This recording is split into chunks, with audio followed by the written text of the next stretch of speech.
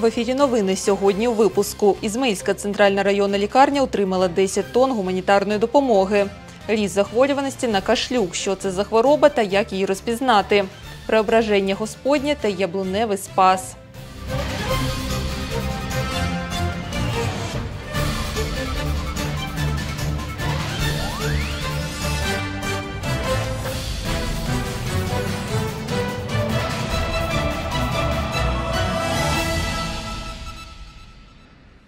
Вітаю з вами у студії Юлія Петлацюк. За інформацією Генерального штабу України, загальні бойові втрати противника станом на 6 серпня орієнтовно такі: 585 тисяч 140 осіб особового складу, 8 тисяч 421 танк, 16 тисяч 294 одиниці бойових броньованих машин, 16 тисяч 384 артилерійські системи, 1138 реактивних систем залпового вогню, 910 засобів протиповітряної оборони. 365 літаків, 326 гелікоптерів, 13 тисяч 158 безпілотних літальних апаратів оперативно-тактичного рівня, 2420 крилатих ракет, 28 кораблів, один підводний човен, 22 тисячі 148 одиниць автомобільної техніки та автоцистерн, 2738 одиниць спеціальної техніки. Ізмаїльська центральна районна лікарня отримала 10 тонн гуманітарного вантажу від релігійної організації «Лицарі Колумба». До складу допомоги увійшли засоби реабілітації, медичні препарати та вироби. Серед них дефібрилятори, пристрої моніторингу пацієнтів, інвалідні візки, ліжка та меблі. Подробиці дивіться у репортажі. Центральна районна лікарня Ізмаїла отримала вантаж гуманітарної допомоги від релігійної організації «Лицарі Колумба». На потреби медичного закладу вони передали обладнання, яке необхідне для лікування та реабілітації пацієнтів. Сьогодні ми знов зустрілися на території центральної районної лікарні Софіянської територіальної громади. Сьогодні нам знов допомагають лицарі Колумба України та е, е, наш капелан Володимир в отриманні гуманітарної допомоги. Дякую всім небайдужим нашим партнерам, котрі під час війни допомагають нашій центральній районній лікарні в отриманні медикаментів, в отриманні обладнання. Це дуже важливо, тому що це наближає нашу перемогу. Дякую вам за допомогу. Слава Україні! Релігійна організація «Лицарі Колумба» допомагає українцям, які опинились у важких життєвих обставинах через повномасштабну війну. Основний напрям їх діяльності забезпечення найнеобхіднішим їжею та ліками. Сьогодні ми черговий раз е, отримуємо гуманітарну допомогу завдяки комісії охорони здоров'я, завдяки нашим е, головним спонсорам, лицарям Колумба в Україні. І дуже щиро дякуємо пану Юрію Мелецькому за цю е, хорошу допомогу, яку сьогодні е, цілу фуру вантажу е, було передано. До складу гуманітарної допомоги увійшли засоби реабілітації, медичні препарати та вироби. Серед них дефібрилятори, пристрої моніторингу пацієнтів, інвалідні візки, ліжка та меблі. Ми отримуємо великий вантаж, понад 10 тонн е, медичного обладнання, засоби реабілітації, е, медичні препарати, медичні вироби. Хочу подякувати всі, е, всім, хто допомагав в цьому. Це не перший гуманітарний вантаж, який отримує лікарня, відзначив Олег Садковський. Лицарі Колумба допомагають медичному закладу на постійній основі. Буквально місяць тому за підтримки Української греко-католицької церкви лікарня Ізмаїла отримала карету швидкої. Автомобіль закупили в Німеччині та переправили до України. Тепер його використовуватимуть для обслуговування жителів Ізмаїльського району. Я не знаю ні одної релігійної організації, як, як, е, котра б так е, постійно нам, е, нас підтримувала та допомагала.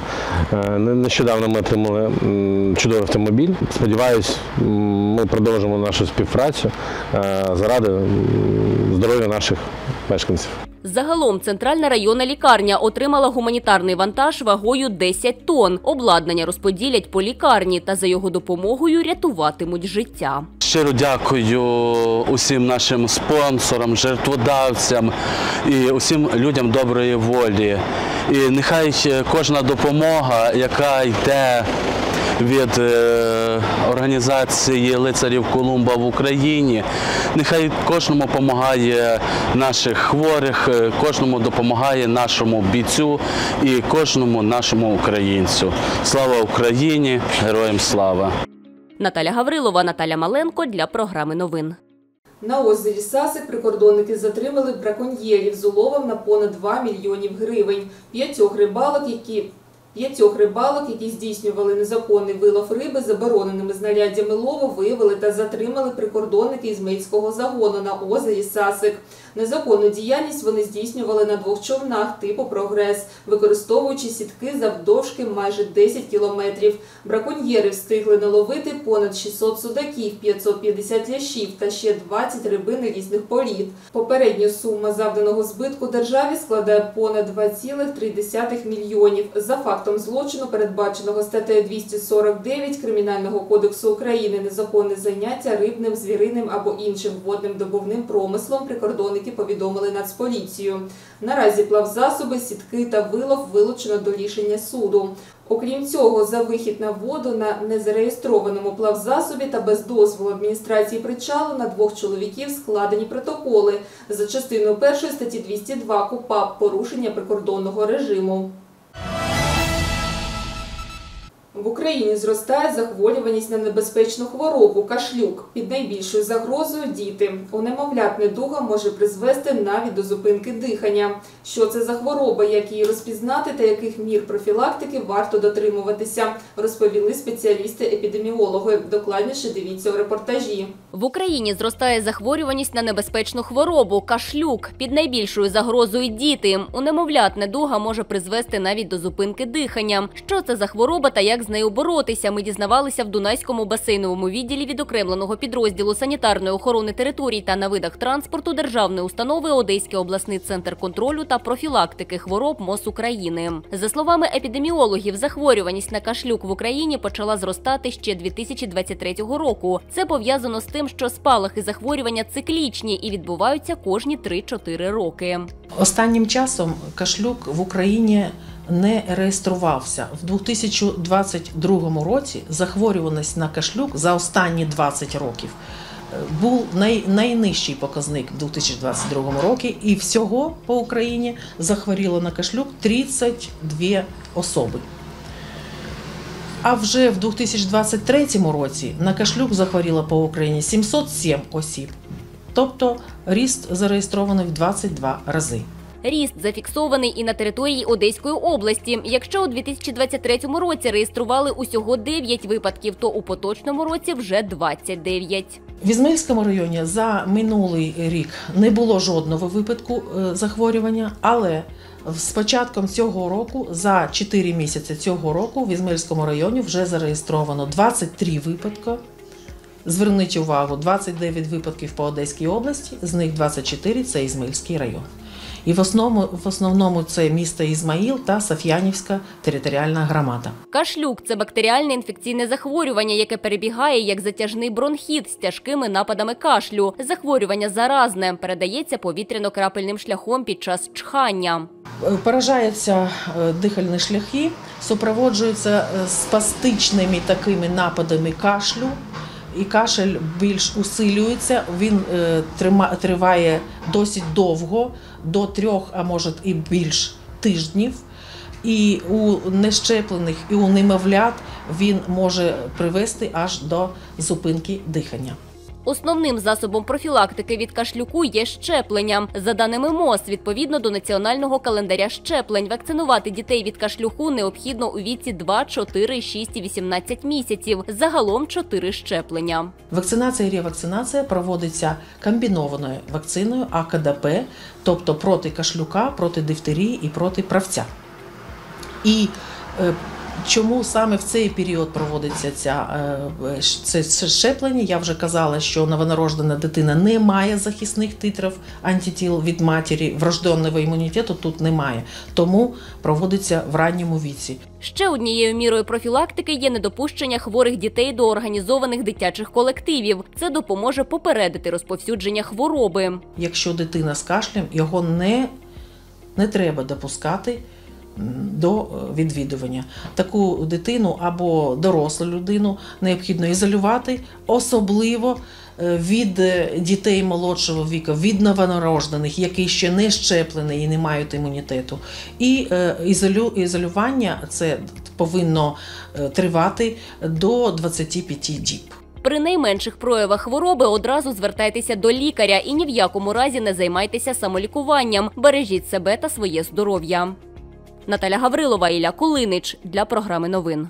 У місті Кілія поліцейські викрили зловмисника, який спричинив тяжкі тілесні ушкодження співмістянину. Правопорушник під час конфлікту зі своїм знайомим побив перехожого, коли той втрутився, щоб припинити штовханину між чоловіками. Фігуранту повідомлено про підозру. За скоєне він може потрапити за грати на 8 років. Медики діагностували потерпілому важку черепно-мозгову травму. Наразі він знаходиться у комі. Слідчі та оперативники за кілька годин встановили, що побив чоловіка 28-річний співмістянин. Правопорушника затримали у процесуальному порядку. У скоєному він зізнався тільки під впливом беззаперечних доказів, які зібрали поліцейські. Злочин, що кваліфікується за частиною першої статті 121 Кримінального кодексу України, карається у вигляді позбавлення волі строком від 5 до 8 років. Суд обрав підозрюваному запобіжний захід у вигляді цілодобового домашнього арешту. Слідство триває під процесуальним керівництвом Ізмаїльської окружної прокуратури. За новоюліанським календарем Преображення Господнє, також відомо в народі як Яблучний Спас, відзначається 6 серпня. Це свято не лише має глибоке релігійне значення, але й багатий культурний контекст. У цей день християни дотримуються ряду традицій та звичаїв. Подробиці дивіться далі.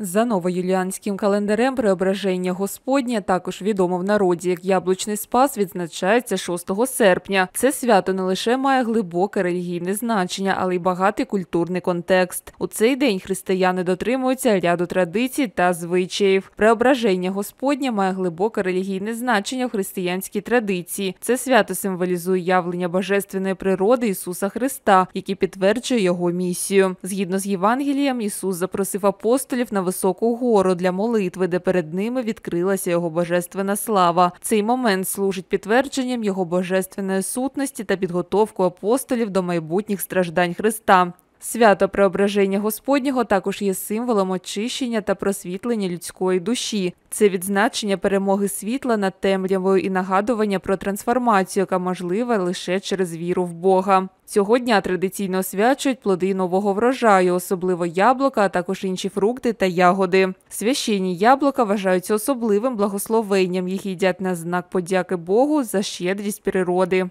Тут історія преображення Господнього тісно переплітається з дохристиянськими традиціями. Наші предки святкували цього дня перехід від літа до осені, відзначаючи збір нового врожаю та підготовку до осінніх свят. На яблучний спас в церквах відбувається святкове богослужіння. Після служби віряни приносять до церкви яблука та інші фрукти, які потім споживають вдома, вірячи, що ці плоди стали святими і принесуть їм здоров'я та благополуччя. У народі існує звичай готувати у цей день традиційні страви з яблук, наприклад, пироги. Однак важливо пам'ятати, що свято припадає на Успенський піст, який вважається досить суворим. Цього дня не рекомендується вживати спиртні напої та влаштовувати гучні святкування, займатися важкою фізичною працею чи господарювати, сваритися або вступати в конфлікти. Яблучний спас також є часом для очищення і духовного відновлення. Віряни вважають, що в цей день важливо звільнитися від негативних думок та гріхів, а також звернутися до Бога з молитвою про захист та здоров'я. Юля Петлацюк для програми новин. Рятувальники провели акцію Не підходь, не чіпай, телефонуй 101 у центральному сквері міста Ізмаїл. 4 серпня у центрі міста громадська організація «Ізмаїл для провела черговий благодійний ярмарок на підтримку військовослужбовців в Збройних силах України. А рятувальники вирішили закріпити знання людей щодо правил безпеки, які рятують наші життя. Рятувальники роз'яснювали, як слід поводити себе у разі виявлення вибухонебезпечних предметів.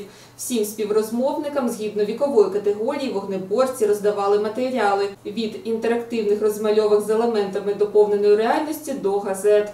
Також кожен бажаючий міг приміряти захисне спорядження рятувальників та побачити, якими можуть бути вибухонебезпечні предмети.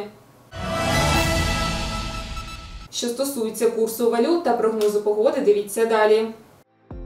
Сьогодні долар можна придбати за 41 гривню 10 копійок, продати за 41 гривню 55 копійок. Євро купівля 44 гривні 72 копійки, продаж 45 гривень 42 копійки. Дунайська гідрометобсерваторія повідомляє, у середу 7 серпня в Ізмилі очікується мінлива хмарність. Без опадів. Вітер північно-західний 6-11 метрів на секунду. Температура повітря вночі 15-17 градусів тепла. в день 28-30 градусів тепла. В Одесі мінлива хмарність, вночі короткочасний дощ, вітер північно-східний 3,8 метрів на секунду. Температура повітря вночі 19-21 градусів тепла, вдень 27-29 з позначкою плюс.